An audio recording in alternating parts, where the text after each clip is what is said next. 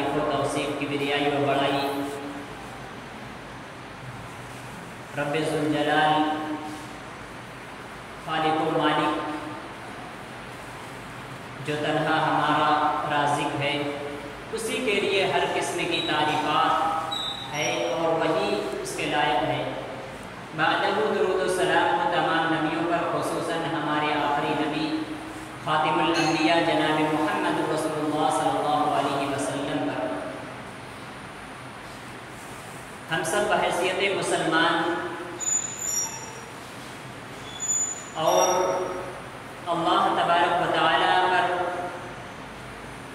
ایمان رکھنے کے ساتھ، ایمان رکھنے کے سبب ہمارا اس بات پر بھی ایمان کامل ہے کہ اللہ تبارک و تعالیٰ نے ہمیں دنیا میں کچھ دن کی زندگی گزارنے کے لیے ہمیں بھیجا ہے۔ اس کے بعد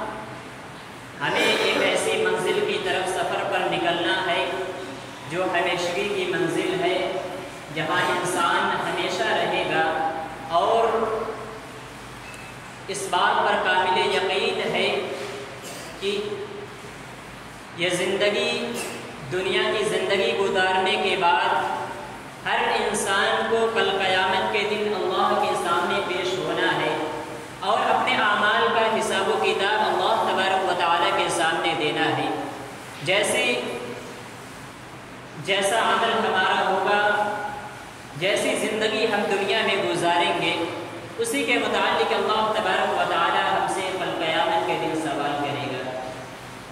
اللہ تعالیٰ نے قرآن کریم میں یہ وعدہ کیا ہے کہ قیامت کا دن اور قیامت برپا ہوگا۔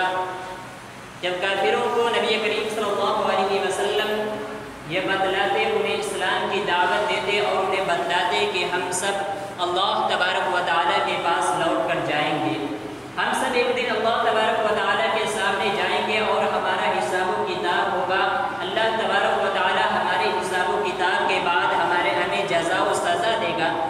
تو کافرین اور مشرقین وہ نبی کریم صلی اللہ علیہ وسلم سے سوال کیا کرتے تھے کہ یہ قیامت کا دن، یہ وعدے کا دن جو آپ یہ وعدہ کر رہے ہیں، جس کا وہ کب آئے گا؟ وہ دن کب ہے؟ جس کا آپ ہم سے وعدہ کر رہے ہیں۔ اللہ تبارک و تعالی نے فرمایا، اے نبی، آپ کہہ دیجیے، قل انما العلم عند اللہ۔ آپ کہہ دیجیے کہ اس کا علم صرف اللہ تبارک و تعالی کو ہے۔ لیکن اللہ تبارک و تعالی نے نبی کریم صلی اللہ علیہ وسلم کو بعض صفات اور قیامت کی نشانیوں کو بتا دیا کہ یہ یہ نشانیاں قبل قیامت ظہور ہوں گی اور اس کے بعد قیامت آئے گی۔ اور ان نشانیوں میں کچھ چھوٹی علامتیں، چھوٹی نشانیاں بتائی گئی اور کچھ تقریباً دس علامتیں جو بڑی انہیں بتائی گئی، اس کے بعد فوراً قیامت قائم ہو جائے گی۔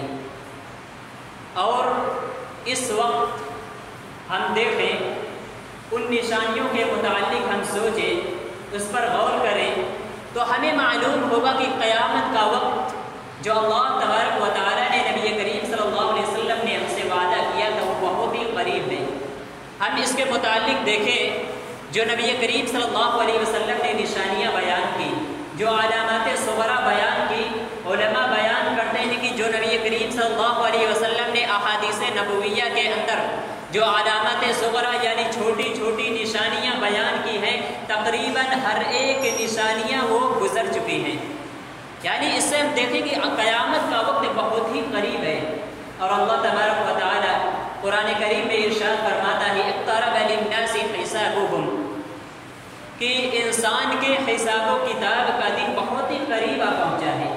بہت ہی قریب ہے کہ انسانوں کا حساب و کتاب لیا جائے یعنی کل قیامت قائم ہو جائے اور پھر ہر کوئی میدان محشر میں جمع ہوگا۔ یہ دن بہت ہی قریب آ چکا ہے۔ وہ فی غفلت معرضون۔ لیکن انسان غفلت میں زندگی گزار رہے ہیں۔ وہ اعراض کیے ہوئے دنیا بھٹکے ہوئے اللہ تبارک و تعالیٰ کو بھلائے ہوئے زندگی گزار رہے ہیں۔ وہ نہیں جانتے کہ یہ دن قریب آ چکا ہے۔ اللہ تبارک و تعالیٰ نے جس کا وعدہ کیا ہے، جس دن کے لیے دنیا میں بھیجا ہے، جو جو انسان کے سوال و جواب کا دن ہے، حساب و کتاب کا دن ہے، جس کے لیے یہ دنیاوی زندگی ہم گزار رہے ہیں، وہ وقت بہت ہی قریب آ چکا ہے۔ اقترب للناس حسابهم، انسانوں کے حساب و کتاب کا وقت بہت ہی قریب آ چکا ہے وهم فی غفلت معرضون. اور انسان غفلت کی زندگی گزار رہے ہیں، وہ اعراض کیے ہوئے ہیں۔ اللہ کو بھولے ہوئے، اپنی آخرت کو بھولے ہوئے۔ دنیا میں مست و مگن ہے۔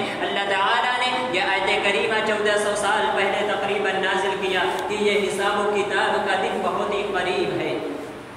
بہت ہی قریب آ چکا ہے۔ اور نبی کریم صلی اللہ علیہ وسلم نے فرمایا، بعثت انا والساعة كهاتين.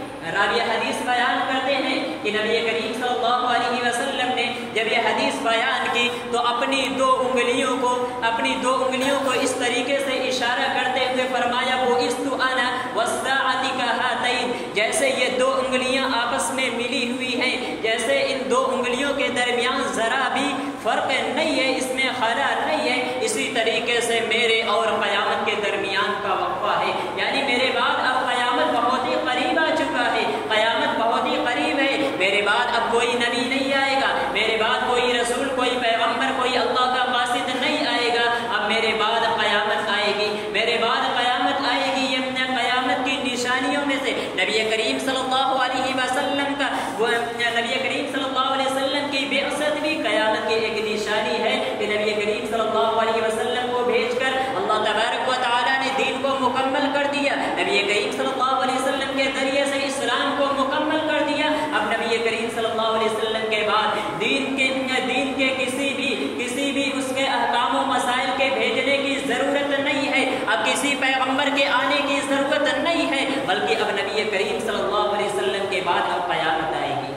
یہ نبی کریم صلی اللہ علیہ وسلم کی بے اثر قیامت کی نشانیوں میں سے ایک نشانی ہے۔ نبی کریم صلی اللہ علیہ وسلم نے فرمایا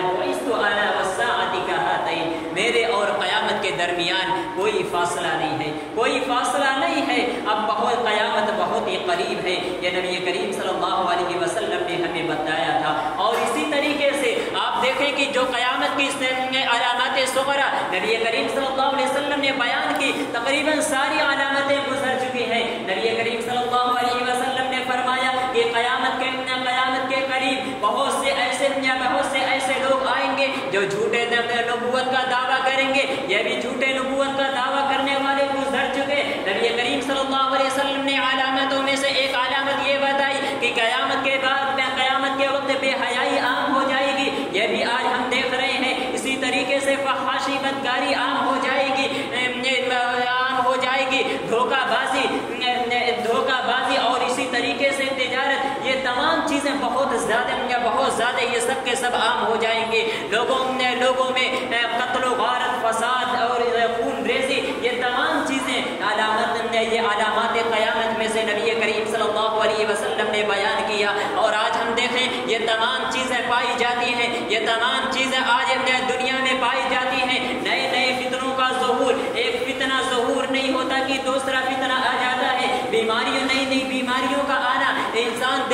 دیکھیں گے دن بدن کوئی نہ کوئی نئی بیماری آتی ہے، کوئی بیماری اللہ تبارک و تعالیٰ کے بھی آزاد کی شکل میں بھیجتا ہے، اسی طریقے سے کتنی نئی نئی بیماریاں آتی ہیں یعنی قرب قیامت کی علاماتوں میں سے ایک علامت ہے، نبی کریم صلی اللہ علیہ وسلم کی نشانیاں بتائی گئی نشانیوں میں سے یہ تمام چیزیں نشانیاں ہیں کہ قرب قیامت میں یہ فحاشی عام ہو جائے گی بدگاری عام ہو جائے گی قرب قیامت میں دھوکہ بازی عام ہو جائے گی اسی طریقے سے قرب قیامت میں قرب قیامت میں قتل و غارت خون ریزی ایک دوسرے کا قتل کرنا، یہ بھی عام ہو جائے گا۔ اور اسی طریقے سے، اس، اسی طریقے سے اس کے علاوہ بہت ساری نشانیوں کو نبی کریم صلی اللہ علیہ وسلم نے بیان کیا، جو آج ہم اپنی آنکھوں سے دیکھ رہے ہیں۔ نئے نئے فتنوں کا ظہور ایک فتنے کے بعد دوسرے فتنے وجود میں آ رہے ہیں۔ ہر دن کوئی نہ کوئی نیا فتنہ نیا فتنہ وجود میں آ رہا ہے۔ نئی بیماریاں وجود میں آئی آ رہی ہیں یہ تمام چیزیں قیامت نے کی نشانیوں میں سے ہیں۔ قیامت بہت ہی قریب آ چکا ہے بہت ہی قریب آ چکا ہے۔ ہم اسے اپنی نگاہوں سے دیکھ رہے ہیں، لیکن اس کے باوجود بھی مسلمان غفلت کی زندگی گزار رہے ہیں۔ یہ تمام چیزیں دیکھنے کے باوجود انسان انسان غفلت کی زندگی گزار رہا ہے۔ وہ اعراض نے وہ نافرمانیوں میں اپنی زندگی کو گزار رہا ہے۔ اسی طریقے سے اس کے علاوہ نبی کریم صلی اللہ علیہ وسلم نے نشانیوں کو بیان کرتے ہوئے فرمایا راوی حدیث ابو حریرہ رضی اللہ عنہ ہے فرماتے ہیں کہ نبی کریم صلی اللہ علیہ وسلم نے فرمایا لا تقوم الساعة حتى يقبل حتى يقبل العلم وتقتر الزلازل کہ قرب قیامت میں قیامت وہاں یہاں تک قیامت اس وقت تک قائم نہیں ہوگی جب تک کہ علم اٹھا لیا جائے گا۔ علم اٹھا لیا جائے گا۔ زلزلے بہت زیادہ آئیں گے۔ وَيَتَقَارَبُ الزَّمَانِ اور زمانے قریب ہو جائیں گے۔ یعنی دن، ہفتہ، مہینہ، سال اس طرح گزرے گا کہ انسان کو انسان اس کا شعور بھی نہیں کر پائے گا۔ بہت جلدی جلدی زمانے گزریں گے۔ زمانے قریب ہو جائیں گے۔ وَتَدْخَرُ الْفِتَنِ۔ فتنے بہت زیادہ ظاہر ہوں گے۔ ایک کے بعد دوسرے فتنے اور قتل و غارت عام ہو جائے گی۔ خون ریزی عام ہو جائے گی۔ اس حدیث میں نبی کریم صلی اللہ علیہ وسلم نے یہ قیامت کی نشانیوں میں نشانی بتائی کہ قیامت اس وقت تک اس وقت تک نہیں آئے گی جب تک کہ جب تک کہ اللہ تبارک و تعالیٰ علم کو اٹھانے گا۔ علم کو اٹھانے کا مطلب یہ ہے کہ نبی کریم صلی اللہ علیہ وسلم نے دوسری حدیث میں فرمایا، اللہ تعالیٰ ڈائریکٹ علم کو نہیں اٹھائے گا، بلکہ اس کا مطلب یہ ہے کہ جو علماء زمین میں ہوں گے، جو علماء ہیں، ان کو اللہ تبارک و تعالیٰ موت دے دے گا، ان کو اٹھا لے گا۔ اور آج ہم یہ بھی دیکھ رہے ہیں، آج ہم دیکھ رہے ہیں کہ جتنے بھی علماء ہیں، وہ یکے بعد دیگر وہ جا رہے ہیں، وہ دنیا سے رخصت ہو رہے ہیں۔ اور اسی طریقے سے قیامت کی نشانیوں میں سے ایک نشانی یہ بھی ہے کہ نبی کریم صلی اللہ علیہ وسلم نے فرمایا کہ جوہلا علماء کے علماء کے مقام پر فائز ہو جائیں گے۔ جن کو حقیقی علم نہیں ہوگا، وہ شریعت کے جاننے والے نہیں ہوں گے، ان کے پاس علم نہیں ہوگا۔ لیکن وہ اپنے آپ کو عالم کہلائیں گے، وہ فتوے دیں گے اور خود تو گمراہ ہوں گے، لوگوں کو بھی گمراہ کریں گے۔ آج اس کو بھی یوٹیوب پر دیکھیں، کتنے لوگ ایسے جن کے پاس علم نہیں ہے، اس نے حصول علم نہیں انہوں نے علم حاصل نہیں کیا، لیکن وہ چند کتابوں کا مطالعہ کر کے وہ اپنی ویڈیوز بنا کر وہ سوشل میڈیا پر سوشل میڈیا پر وہ شیئر کر رہے ہیں، فتوے دے رہے ہیں، اور کتنے لوگ انہی کے پیچھے جا رہے ہیں۔ خود وہ گمراہ ہو رہے ہیں اور دوسروں کو بھی گمراہ کر رہے ہیں۔ یہ سب کے سب علامات قیامت میں سے ہیں۔ نبی کریم صلی اللہ علیہ وسلم نے فرمایا یہ وہ جاہل ہوں گے، وہ اپنے اپنے وہ فتوے دیں گے، وہ خود گمراہ ہوں گے، دوسروں کو بھی گمراہ کریں گے۔ یہ سب کے سب علامات قیامت میں سے جو آج سارے کے سارے ظاہر ہو چکے ہیں۔ یہ سب کے سب ظاہر ہو رہے ہیں۔ یہ نبی کریم صلی اللہ علیہ وسلم نے قیامت کی نشانیاں جو بتائی ہیں۔ اس لیے میرے بھائیوں، ضرورت ہے کہ ہم اپنے گناہوں کی توبہ کریں۔ اللہ تبارک و تعالیٰ کی طرف رجوع کریں۔ قیامت کا وقت بہت ہی قریب آ چکا ہے اور اللہ تعالیٰ ہے۔ قیامت اچانک قائم ہوگی۔ انسان انسان شعور بھی نہیں کرے گا۔ یہ تمام نشانیاں گزر چکی ہیں۔ سوائے ان بڑے نشانیوں کے دس نشانیاں جو اللہ تبارک و تعالی نے نبی کریم صلی اللہ علیہ وسلم نے جو دس بڑی نشانیاں بیان کی ہیں اور وہ وہ بھی وہ بھی اس کا بھی ظہور ہوگا اور یکے بعد دیگرے یہ دس نشانیاں ظاہر ہوں گی، پھر اچانک اللہ تبارک و تعالیٰ قیامت قائم کر دے گا۔ یہ تمام یہ تمام چیزیں ہم سے تقاضا کر رہی ہے کہ ہم اللہ تبارک و تعالیٰ کی طرف رجوع کریں۔ اپنے گناہوں کی معافی طلب کریں اللہ تبارک و تعالیٰ سے توبہ کر لیں قبل اس کے کی توبہ کے دروازے بند ہو جائیں۔ اللہ تبارک و تعالیٰ سے اپنے گناہوں کی معافی مانگ لیں اسی طریقے سے ایک اور نشانی نبی کریم صلی اللہ علیہ وسلم نے بیان کی۔ راوی حدیث ابو حریرہ رضی اللہ عنہ ہیں۔ بیان کرتے ہیں انه رسول اللہ صلی اللہ علیہ وسلم، لا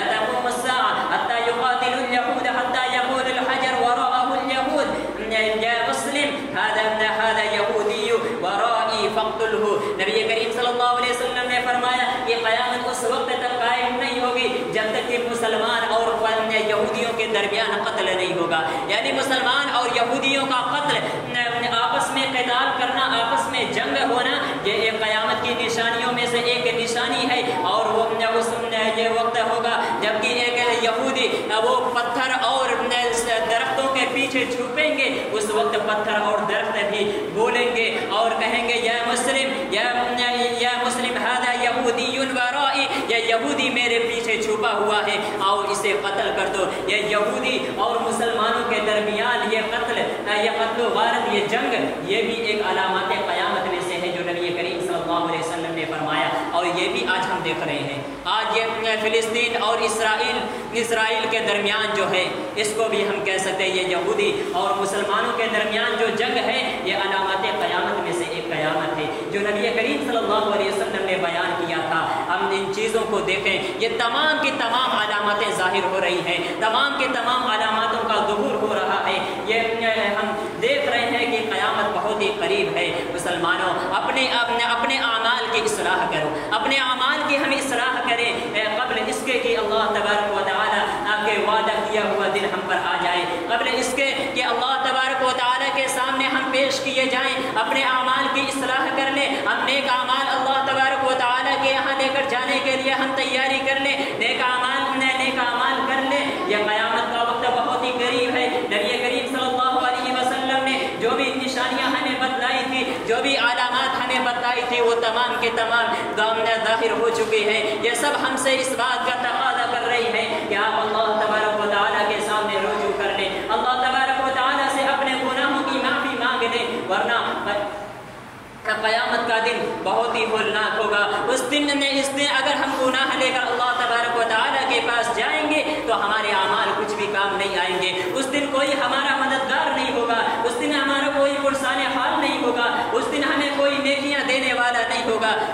اللہ تبارک و تعالیٰ فرماتا ہے، وَاتَّقُوا يَوْمًا لَا تَجْزِي نَفْسٌ عَن نَفْسٍ شَيْئًا۔ اس دن اللہ تبارک و تعالیٰ سامنے جب بندے پیش کیے جائیں گے، قیامت کے دن جب اللہ تبارک و تعالیٰ کے سامنے پیش کیے جائیں گے، اس دن کوئی بھی شخص کسی دوسرے کا کام نہیں آئے گا، کوئی بھی کسی کا بدلہ نہیں دے گا، کوئی بھی کسی کو نیکیاں نہیں دے گا، کوئی کسی نے کا کوئی کسی کا بھی مددگار نہیں ہوگا، کچھ بھی مدد، کچھ بھی مدد نہیں کرے گا۔ ولا يقبل ولا يقبل شفاعت اور اس دن کسی کی شفاعت قبول نہیں کی جائے گی۔ کوئی بھی شفاعت قبول نہیں کی جائے گی گی۔ کوئی کسی کے بارے میں شفا کرے۔ ولا يؤخذ منها عدل۔ اور اس دن کسی سے فدیہ نہیں لیا جائے گا۔ اس دن کسی سے فدیہ نہیں لیا جائے گا۔ دنیا میں جو دنیا میں جو کوئی گناہ کرتا ہے، بعض گناہ ایسے ہیں جس کے بنا پر وہ فدیہ دے کر اپنے گناہوں کو معافی لے سکتا ہے۔ وہ معاف ہو جاتا ہے۔ لیکن کل قیامت کے دن کوئی بھی کسی نے کوئی بھی فدیہ نہیں لیا جائے گا۔ کوئی بھی اس کا، کوئی بھی اس کا مددگار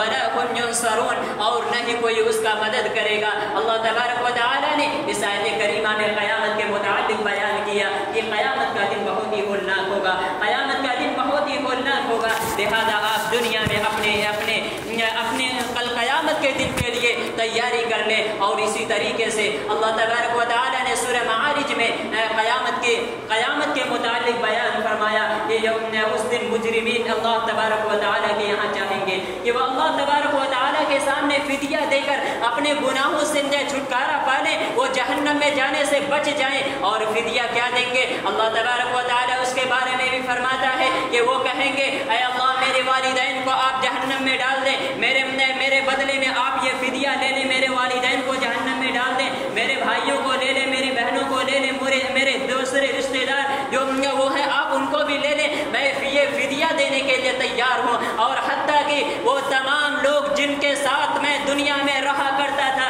میرے محلے آس پڑوس کے لوگ میں ان سبھی کو فدیہ دینے کے لیے تیار ہوں۔ اللہ کہے گا کلا انہا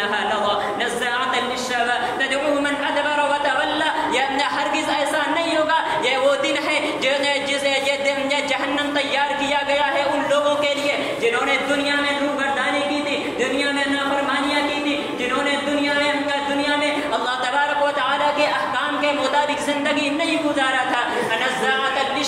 اور یہ جہنم ایسی ہے جو انسان کی چمڑیوں کو کھینچ دینے والی ہے۔ من اور یہ جہنم ان لوگوں کو پکارتی ہے جنہوں نے پشت پھیرا۔ اللہ تبارک و تعالی کی نافرمانی کی۔ اللہ تبارک و تعالی کی نافرمانی کی۔ اس آیت کریمہ میں اللہ تعالی نے جہنم اور قیامت کے دن کے بارے میں اللہ تبارک و تعالی نے فرمایا ہے۔ لہذا ہم اپنے ایمان کی ایمان کی اصلاح کریں، اپنے اعمال کی اصلاح کریں اور کل قیامت کے دن جتنا ہو سکے ہم تیاری کر لیں۔ بہت ہی قریب ہے، ہم یہ نہ دیکھیں کہ ہمارے ہمارے پاس ابھی بہت بہت وقت ہے، ہم ہم ابھی ابھی جوانی کی عمر ہے۔ ہم آگے چل کر ہم آگے چل کر ہم توبہ کر لیں گے۔ اپنا نیک اعمال کر لیں گے کتنی ہماری زندگی ہے، ہم نہیں جانتے۔ کب قیامت واقع ہو جائے، ہم نہیں جانتے۔ تمام نشانیاں تمام نشانیاں گزر چکی ہیں۔ جتنی نشانیاں نبی کریم صلی اللہ علیہ وسلم نے چھوٹی نشانیاں جو بیان کی تھی، تمام کی تمام نشانیاں تقریباً سبھی گزر چکی ہے وہ نشانی جو جو علامات قبرا میں سے ہے جو دس بڑی نشانیاں نبی کریم صلی اللہ علیہ وسلم نے بیان کی ہے وہ باقی ہے وہ یقے بعد دیگر، وہ جو اس کا ظہور ہوگا۔ اس کے بعد اچانک قیامت قائم ہو جائے گی۔ یہ تمام چیزیں ہم سے ہم سے اس بات کا تقاضا کر رہی ہے کہ ہم اپنا ہم اللہ تبارک و تعالیٰ کی طرف رجوع کر لیں، اپنے اپنے اعمال کی اصلاح کر لیں۔ قیامت کے دن کے لیے، آخرت کی زندگی کے لیے ہم ہم کچھ زیادہ راہ تیار کر لیں کہ کل قیامت کے دن ہمیں رسوائی کا سامنا نہ کرنا پڑے، ورنہ خاشیتاً ابصارہم ترحقہم ذلہ۔ اس دن کچھ لوگوں کو دیکھو گے، ان کی نگاہیں جھکی ہوئی ہوں گی، ان کے چہرے غم زدہ ہوں گے ترحقہم ذلہ ان پر ذلتیں چھائی ہوئی ہوں گی۔ وہ ذلتیں چھائی ہوئی ہوں گی۔ اور وہ لوگ وہ لوگ جو جو نیک اعمال لے کر قیامت کے دن جائیں گے، جو لوگ دنیا میں نیک اعمال کر کے اللہ تبارک و تعالیٰ کے پاس جائیں گے ان وہ وہ خوش و خرم ہوں گے۔ وہ ایک دوسرے کو اپنے نام اعمال کو دکھائیں گے، کہیں گے، ہاؤ مقرؤ کتابیہ، انی ظننت انی ملاق حسابیہ۔ یہ میرا نام اعمال ہے، جو مجھے دیا گیا ہے۔ میں گمان کرتا تھا، اللہ تبارک و تعالیٰ پر ہمارا یقین تھا ہمارا ایمان تھا آج میرا نام اعمال مل گیا۔ وہ خوشی ہوں گے، وہ خوشی سے دوسروں کو دکھائیں گے۔ لیکن اسی کے برعکس جن کے نام اعمال درست نہیں ہوں گے، جن کے بائیں ہاتھ میں دیا جائے گا، وہ کہے گا، کاش کی میں مر کر مٹی میں مل گیا ہوتا۔ مجھے دوبارہ نہیں اٹھایا گیا ہوتا۔ مجھے دوبارہ دنیا اس محشر میں پیش کیا ہوگا۔ لہذا اس دن کی زندگی، اس دن کی ذلت سے بچنے کے لیے آج کی زندگی میں ہم کچھ زیادہ راہ تیار کر لیں۔ قیامت کا وقت بہت ہی قریب ہے۔ کب واقع ہو جائے ہم نہیں جانتے۔ ہم ہم اپنے اعمال کی اصلاح کر لیں۔ لہذا اللہ تبارک و تعالیٰ سے دعا ہے کہ الہ العالمین ہم سبھی کو اپنے اعمال کی اصلاح کرنے کی توفیق عطا فرما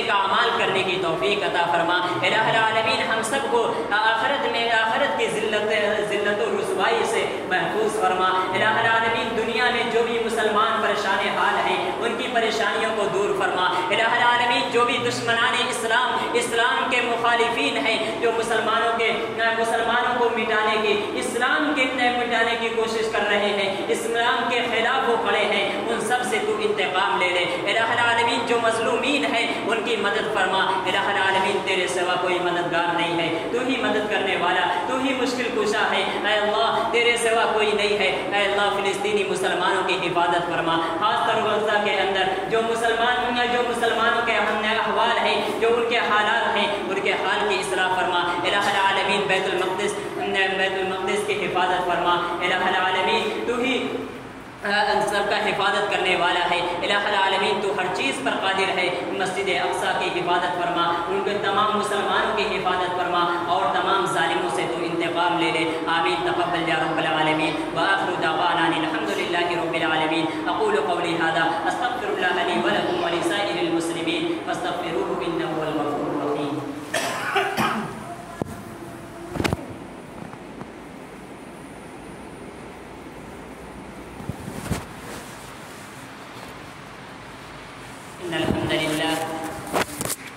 نحمده ونستعينه ونستغفره